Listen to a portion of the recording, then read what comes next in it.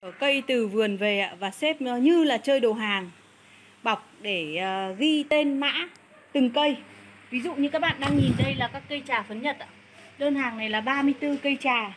Hôm trước anh ấy mua, chính là mua 3 cây xong rồi. Mua 11 cây, hôm nay lại đặt là 34 cây nữa. Các loại luôn nhé bạn nhé. Mình sẽ điểm qua các cái loại cây hoa trà để các bạn có nhu cầu mà muốn mua các cây trà.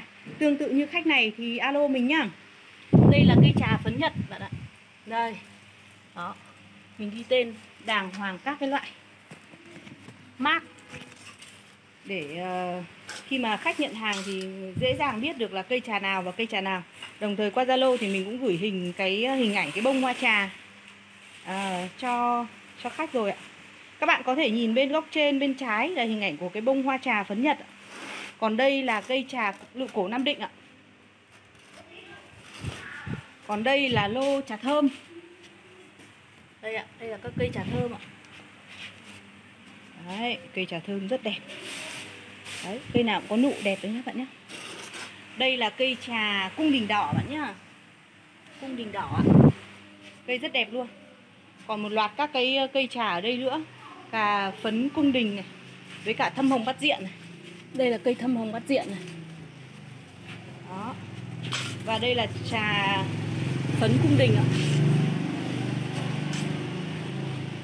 Còn một loạt các cây trong này nữa, thì mình sẽ lôi ra từng cây, xong đó rồi ờ, nhán, dán nhãn, dán mát các cây cụ thể vào. Cây cao khoảng tầm, đây là cây trà bạch nhật nhé bạn nhé. Rất nhiều loại trà luôn ạ. Cây bạch nhật này thoát thân đẹp quá. 1 2 3 tầm 50 đến 60 cm tùy cây. Đây, cây cung đình đỏ này vừa có độ thoát thân và lại vừa có nụ rất nhiều nụ sai và đẹp. Đó. Đây là cây trà lựu à, nam định ạ. Đó.